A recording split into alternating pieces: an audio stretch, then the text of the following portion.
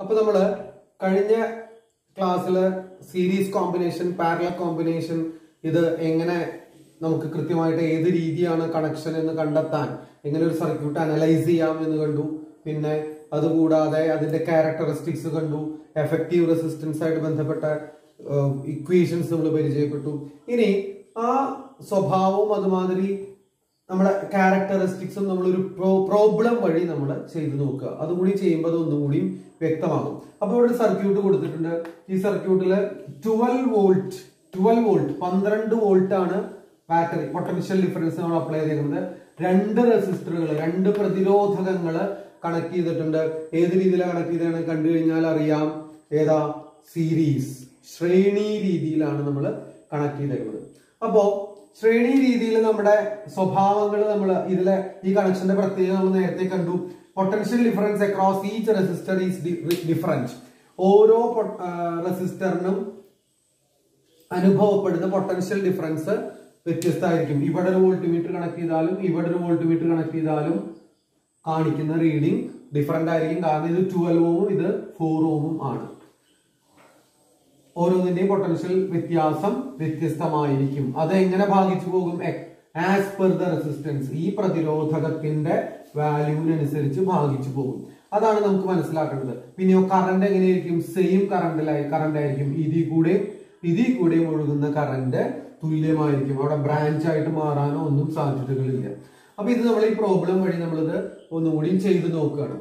നമുക്ക് നമ്മളിവിടെ കാണുന്നത് ഈ പ്രോബ്ലത്തിലെ മൂന്ന് കാര്യങ്ങളാണ് എഫക്റ്റീവ് റെസിസ്റ്റൻസ് എത്ര? സഫല പ്രതിരോധം.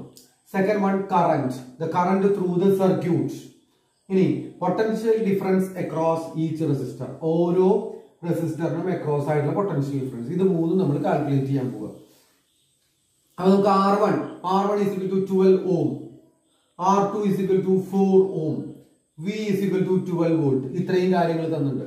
ആദ്യം നമ്മൾ ചെയ്യാൻ പോകുന്നത് എഫക്റ്റീവ് റെസിസ്റ്റൻസ് അഥവാ സഫല പ്രതിരോധം നമുക്കറിയാം സീരീസ് കണക്ഷനിൽ സഫല പ്രതിരോധം കാണാനുള്ള equation R one plus R two effective resistance twelve plus four which is equal to sixteen ohm പതിനാറ് ഓം ആണ് സഫല പ്രതിരോധം ഇനി current current through the circuit ഇതിലൂടെ ഒഴുകുന്ന കറണ്ട് ആ കറണ്ട് തന്നെയാണ് എല്ലാ ദിക്കിൽ കൂടെയും ഒഴുകുക. ഈ റെസിസ്റ്ററിൽ കൂടെയും ഈ റെസിസ്റ്ററിൽ കൂടെയും. അതെങ്ങനെയാ കാണുക നമ്മുടെ ഓംസ് ഓംസ് ലോ അനുസരിച്ച് I to V by R നമ്മൾ നോക്കിയിട്ടുണ്ട്. I to V by R അതിൽ വി എന്ന് പറഞ്ഞാൽ എത്രയാ? Twelve volt twelve divided by resistance എത്രയാ?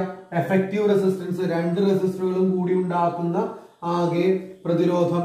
അപ്പൊ എത്രയായിരിക്കും twelve divided by sixteen which is equal to three by four ampere അതായത് ഈ സർക്യൂട്ടിൽ കൂടെ three by four ampere current ആണ് ഒഴുകുക ഈ റെസിസ്റ്റർ കൂടെയും ഈ റെസിസ്റ്റർ കൂടെയും എല്ലാ ഭാഗത്തു കൂടെയും ഒരേ current three by four ampere ഇനി ഇനി അടുത്തതായിട്ട് നമ്മൾ കാണാൻ പോകുന്നത് ഇതിന് അക്രോസ് ആയിട്ടുള്ള പൊട്ടൻഷ്യൽ ഡിഫറൻസ് ഇതിന് അക്രോസ് ആയിട്ടുള്ള പൊട്ടൻഷ്യൽ ഡിഫറൻസ് അത് ഡിഫറെന്റ് ആണെന്ന് നമുക്കറിയാം സീരീസ് കോമ്പിനേഷനിൽ അപ്പോ നേരെ മറിച്ച് പൊട്ട കറന്റോ സെയിം ആണ്.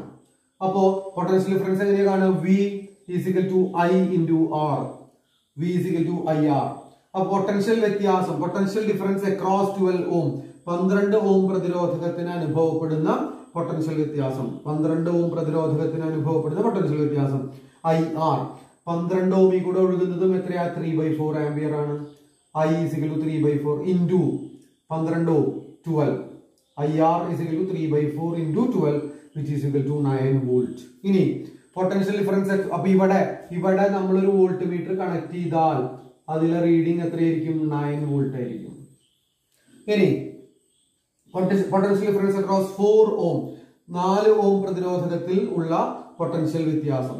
I R to three by four three by four into four four ohm ആണ് നാല് ഓം ആണ് അപ്പൊ three by four into four ഇതിൽ കൂടെ ഒഴുകുക. ത്രീ ബൈ ഫോർ ആംബിയർ ആണ്.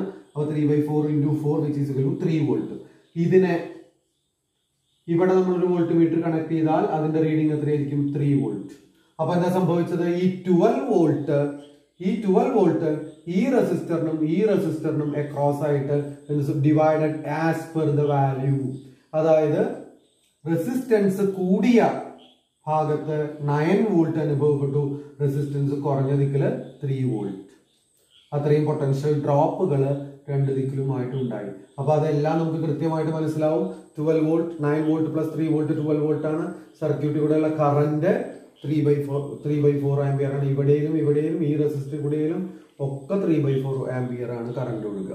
ഇനി അടുത്ത് നമുക്ക് നമുക്ക് പാരലൽ കോമ്പിനേഷൻ സമാന്തര രീതി ചെയ്ത് നോക്കാം. പാരലൽ കോമ്പിനേഷൻ സമാന്തര രീതി അതേ റെസിസ്റ്ററുകൾ അതേ റെസിസ്റ്ററുകൾ തന്നെയാണ് നമ്മൾ അതേ വാല്യൂസ് തന്നെയാണ് നമ്മൾ യൂസ് ചെയ്തേക്കുന്നത്. ട്വൽവ് ഓമും ഫോർ ഓമും നമ്മൾ പാരലൽ ആയിട്ട് കണക്ട് ചെയ്തു. Twelve volt potential difference apply ചെയ്തു. അപ്പോ പാരലൽ കോമ്പിനേഷൻ അഥവാ സമാന്തര രീതിയുടെ സ്വഭാവം നമ്മൾ കണ്ടതാണ് എഫക്റ്റീവ് റെസിസ്റ്റൻസ് എന്ന് പറഞ്ഞാൽ ഈ രണ്ട് റെസിസ്റ്ററുകളും കൂടി ഉണ്ടാക്കുന്ന resistance one by R is equal to one by R one plus one by R two or R is equal to R one R two divided by R one plus R two മറ്റൊന്ന് നമ്മൾ കണ്ടത് same potential difference ആയിരിക്കും. അതായത് ഇവിടെ twelve volt ആണ് നമ്മൾ apply ചെയ്തത്. ഈ ട്വൽവ് ഓം റെസിസ്റ്ററിനും നാല് ഓം ഫോർ ഓം റെസിസ്റ്ററിനും ഈ രണ്ട് പ്രതിരോധങ്ങൾക്കും പന്ത്രണ്ട് വോൾട്ട് തന്നെ കിട്ടും. മറ്റെന്താ കണ്ടത് കറന്റ് ചേഞ്ചസ് കറന്റ് കുറയും കറന്റ് മാറും. അതായത് ഈ ബ്രാഞ്ചിൽ കൂടെ ഒഴുകുന്ന കറന്റും ഈ ബ്രാഞ്ചിൽ കൂടെ ഒഴുകുന്ന കറന്റും മാറും. സ്വാഭാവികമായിട്ടും ഏത് ബ്രാഞ്ചിൽ കൂടെ കൂടുതൽ കറന്റ് ഒഴുകുക? റെസിസ്റ്റൻസ് കുറഞ്ഞ ബ്രാഞ്ചിൽ കൂടെ. കാരണം റെസിസ്റ്റൻസ് എന്ന് പറഞ്ഞാൽ കറന്റിനുണ്ടാക്കുന്ന ചാലകം കണ്ടക്ടർ വൈദ്യുത പ്രവാഹത്തിനുണ്ടാക്കുന്ന തടസ്സമാണ്. അപ്പൊ തടസ്സം കൂടിയ ബ്രാഞ്ചിൽ കൂടെ കുറച്ച് കറണ്ട് ഒഴുകുള്ളൂ കുറച്ച് ചാർജ് ഒഴുകുള്ളൂ അത് നമ്മൾ ഇനി കൃത്യമായിട്ട് ക്വാണ്ടിറ്റേറ്റീവായിട്ട് കൃത്യമായിട്ട് അളന്ന് നമ്മൾ പ്രോബ്ലം വഴി പഠിക്കുകയാണ്. ഓക്കെ അപ്പൊ ഇവിടെ നമ്മൾ നേരത്തെ ചെയ്ത കാര്യങ്ങൾ തന്നെയാണ്. മൂന്ന് കാര്യങ്ങളാണ് ചെയ്യുന്നത്. എഫക്റ്റീവ് റെസിസ്റ്റൻസ് എത്ര? കറന്റ് കറന്റ് രണ്ട് തരത്തിൽ കാണും. സർക്യൂട്ടിലൂടെയുള്ള കറന്റ് അതുകൂടാതെ ഓരോ റെസിസ്റ്റർ ഓരോ പ്രതിരോധകത്തിലൂടെയും ഉള്ള കറന്റ്. പിന്നെ potential difference across each resistor potential difference across each resistor ബുദ്ധിമുട്ടുള്ളതല്ല രണ്ടിനും ഒരേ പൊട്ടൻഷ്യൽ ഡിഫറൻസ് ആണ് അത് ട്വൽവ് വോൾട്ട് ആണ്. അപ്പോൾ അതിന്റെ ഉത്തരം ഡയറക്റ്റ് ആണ് എത്ര ട്വൽവ് വോൾട്ട് ഇനി നമുക്ക് എഫക്റ്റീവ് റെസിസ്റ്റൻസ് കാണാം. R two divided by R one plus R two is equal to 12 into 4 divided by 12 plus 4 12 plus 4 എന്ന് പറഞ്ഞാൽ 16 is equal to 3 ohm. നേരത്തെ സീരീസ് ആയിട്ട് കണക്ട് ചെയ്തപ്പോൾ നമുക്ക് പന്ത്രണ്ടും പതിനാലും കൂടി പതിനാറ് ഓം ആയിരുന്നു സീരീസിൽ എഫക്റ്റീവ് റെസിസ്റ്റൻസ് അതേ റെസിസ്റ്ററുകൾ തന്നെ സമാന്തരമായിട്ട് പാരലായിട്ട് ഘടിപ്പിച്ചപ്പോൾ എന്ത് സംഭവിച്ചു? എഫക്റ്റീവ് റെസിസ്റ്റൻസ് കുറഞ്ഞു. എഫക്റ്റീവ് റെസിസ്റ്റൻസ് കുറഞ്ഞു. ഒരേ റെസിസ്റ്ററുകൾ തന്നെ സീരീസ് ആയിട്ട് കണക്ട് ചെയ്തപ്പോൾ പതിനാറ് ഓമും. അതിനെ തന്നെ പാരലൽ ആയിട്ട് കണക്ട് ചെയ്തപ്പോൾ മൂന്ന് ഓമും. എഫക്റ്റീവ് റെസിസ്റ്റൻസ് ഡിക്രീസസ് പഠിച്ചിട്ടുണ്ടാവും ഇതിൽ അത് വേറെ തരത്തിലും പറയാം. അത് ഞാൻ ആദ്യത്തെ ക്ലാസ്സിൽ പറഞ്ഞിട്ടുണ്ട്. ഇനി കറണ്ട് ഇൻ ദ സർക്യൂട്ട് സർക്യൂട്ടിലൂടെയുള്ള കറണ്ട് ആണ്.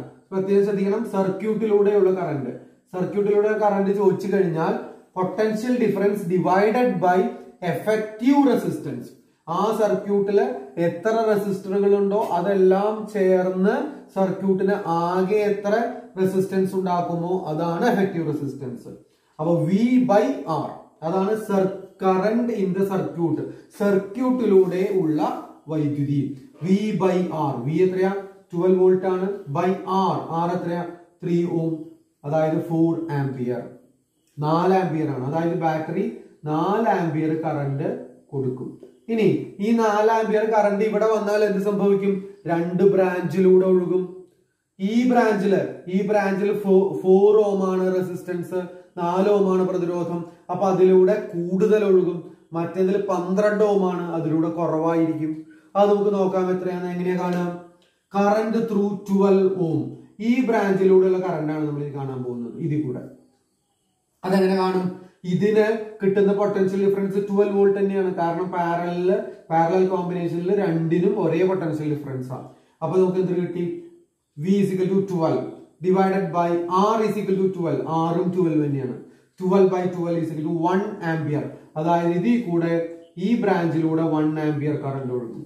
ഇനി അടുത്ത് കറണ്ട് ത്രൂ ഫോർ ഓം ഇതിലൂടെ. അതിനും എത്രയാ?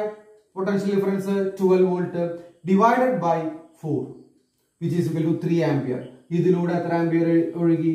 ത്രീ ആംപിയർ അപ്പോ നാല് ആംപിയർ ഇവിടെ വന്ന് അതിൽ ഒരു ആംപിയർ ഒരു ആംപിയർ ഈ ബ്രാഞ്ചിൽ കൂടെ ഒഴുകി. മറ്റേ ബ്രാഞ്ചിൽ കൂടെ എത്ര ഒഴുകി? ത്രീ ആംപിയർ ഒഴുകി. കാരണം ഇവിടെ റെസിസ്റ്റൻസ് അല്ലെങ്കിൽ പ്രതിരോധം കുറവാണ് അതിലാണ് കറണ്ട് കൂടുക. ഇവിടെ എത്തിക്കഴിഞ്ഞാൽ വീണ്ടും എത്രയും നാല് ആംപിയർ സർക്യൂട്ടിലൂടെ ഉള്ളത് അപ്പോ ഇത്രയും കാര്യങ്ങളാണ് നമുക്ക് സീരീസിലും പാരലിലും കൃത്യമായിട്ട് മനസ്സിലാക്കേണ്ടത് ഈ രണ്ട് പ്രോബ്ലം നിർബന്ധമായിട്ടും എല്ലാവരും കാണാതെ ആദ്യം വീഡിയോ രണ്ട് പ്രാവശ്യം ചെയ്തതിനു ശേഷം കാണാതെ മൂന്നോ നാലോ പ്രാവശ്യം എല്ലാവരും ചെയ്യുക. അത് ചെയ്തു കഴിഞ്ഞാൽ നമുക്ക് സീരീസ് കോമ്പിനേഷനും പാരലൽ കോമ്പിനേഷനും വ്യക്തമാകും. ഇത് ടെക്സ്റ്റിൽ കുറഞ്ഞിട്ട് കൊടുത്തിട്ടില്ല. വീഡിയോ നോക്കി നിങ്ങൾ പറയുന്നത് നോക്കി നിങ്ങൾ നോട്ട് എഴുതി മലയാളം മീഡിയംകാരും ഇംഗ്ലീഷ് മീഡിയംകാരും നിർബന്ധമായിട്ടും പഠിക്കണം.